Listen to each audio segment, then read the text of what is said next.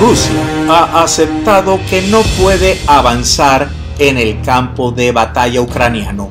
Esto por supuesto es parte de la estrategia que han tratado de dar eh, los aliados junto a Ucrania para hacer una estrategia de desgaste para eh, Vladimir Putin, para Rusia.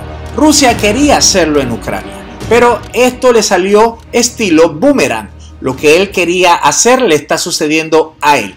No importa que él diga que está aumentándole el salario a algunos educadores o a algunos funcionarios, estos señores se le ha puesto muy difícil a Vladimir Putin. Rusia ya lo había aceptado y que no van a poder resistir la contraofensiva. Ellos quieren ver cómo pueden eh, pasar agachados hasta el momento del invierno para ver si pueden desarrollar otra estrategia en ese momento. Pero siguen bastante fuertes. Ellos ya se dieron cuenta que el Pentágono sí tiene un dinero para seguir dándole a Ucrania y por supuesto la Unión Europea básicamente le ha declarado eh, la guerra a Rusia porque Rusia le ha declarado la guerra a estos países, sobre todo porque están en un momento que no saben realmente cómo empezar a eh, trabajar, no saben cómo hacer, hacerlo. Así que en este momento la Alianza Atlántica también ve una gran oportunidad y la oportunidad por supuesto que se trata en,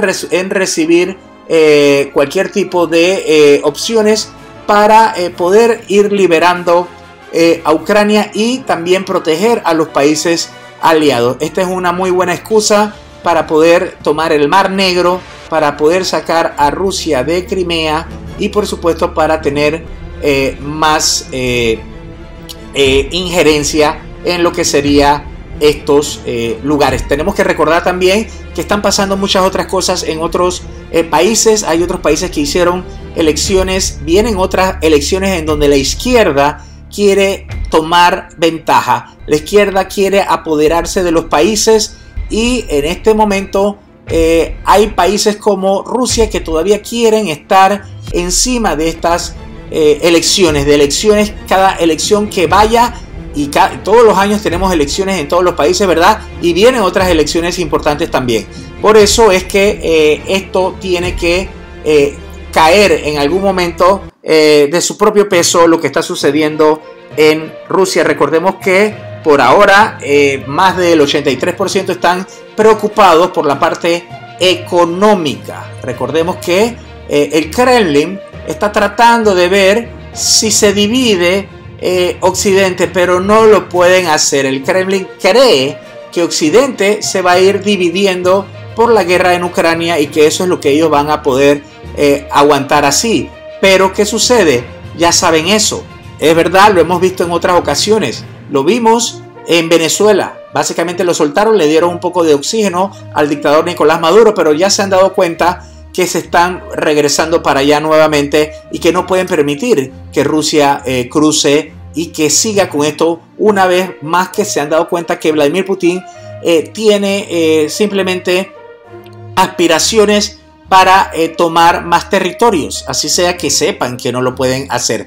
Ellos han tenido que aceptar lo que está sucediendo y pronto Vladimir Putin va a tener que ver qué es lo que hace porque al final, como se dice, al final de la guerra siempre hay un diálogo, así sea para rendirse o así sea para firmar eh, las últimas eh, condiciones de lo que sería eh, la guerra.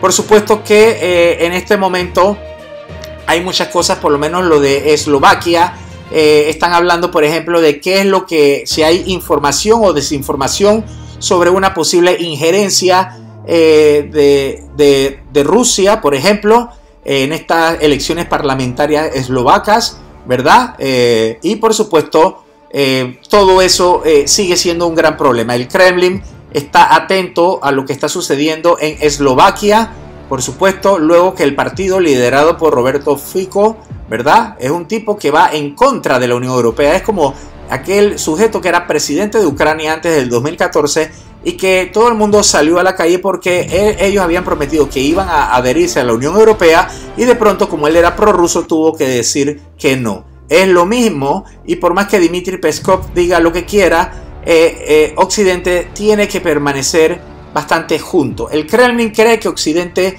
se va a ir dividiendo y están apostando mal. ¿Por qué? Porque ahora mismo lo que, lo que tienen que hacer ellos es que se están uniendo. Hubo una cumbre, eh, ¿verdad? Casi de sorpresa, informal, de la Unión Europea en Kiev y ellos eh, han dado más o menos el, tiempo y eh, lo que se tiene que hacer. Vemos una Gran Bretaña que está a punto de entrar incluso a, a Rusia en cualquier momento, solamente para justificar eh, la defensiva que se requiere para los países de la OTAN. También vemos una Polonia que está a punto de entrar a Bielorrusia. Vemos también a una Rumania que está solicitando en cualquier momento eh, más ayuda. Y cuando estamos viendo es que ya hay aviones eh, británicos cerca del Mar Negro, cerca de Crimea. Y por supuesto que esta semana sería crucial. ¿Por qué? Porque en cualquier momento tenemos que ver que eh, se están consumiendo los días eh, de este mes en donde el máximo general de los Estados Unidos dijo que solamente queda esta ventana para poder lograr un 70% de lo que se han eh, puesto y entre eso está por supuesto seguir destruyendo algunos territorios rusos y también en Moscú. En Moscú en cualquier momento se va a estar dando otro ataque en las próximas horas no dejan de cesar a territorio ruso, pero en Moscú es lo que se está ahora mismo esperando porque se requiere que el pueblo que no está contento con esta guerra eh, vayan y después puedan poco a poco salir a la calle. Recordemos que así caen las dictaduras y hay dictaduras que han caído a punta de protesta y por situaciones financieras. Ahora mismo las exportaciones alemanas de material militar a Ucrania se han multiplicado por cuatro. Esto significa que eh, en vez de llegar un tanque, llegan cuatro tanques. En vez de llegar eh, un sistema Iris-T, llegan cuatro eh, sistemas Iris-T.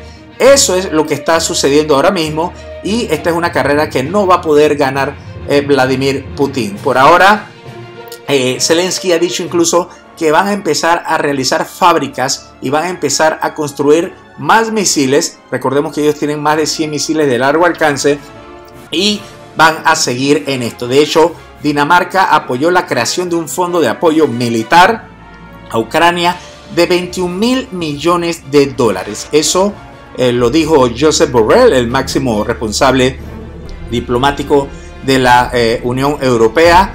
Dice que eh, se va a estar creando ¿verdad? Luego un fondo para ir reembolsando a los estados que han estado dando muchas donaciones de armas a Ucrania, ¿verdad?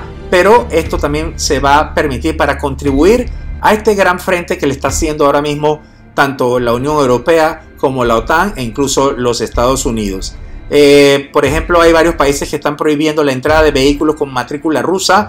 No solamente es Bulgaria, también otros países como Polonia y así siguen como Rumania. En Polonia llegaron estos cazas británicos y están eh, siendo utilizados y con mucho temor se cree que estos cazas británicos puedan ser utilizados desde Polonia para repeler a las tropas rusas. Porque, señores, si las tropas rusas pudieran avanzar mucho más en Ucrania, significa que podrían ir, como lo dijo Medvedev, podrían ir hasta las fronteras polacas y tratar de ir también allá a invadir Polonia. Así que lo que estamos viendo es que Polonia eh, no se deja, está permitiendo que los cazas británicos entren allí y no se confundan.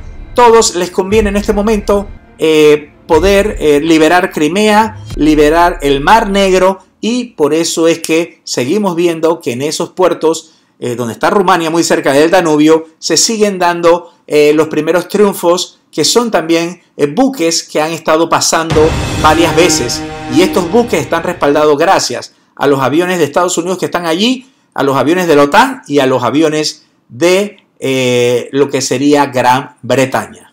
¿Usted qué opina? Déjanos tus comentarios y recuerda suscribirte a nuestro canal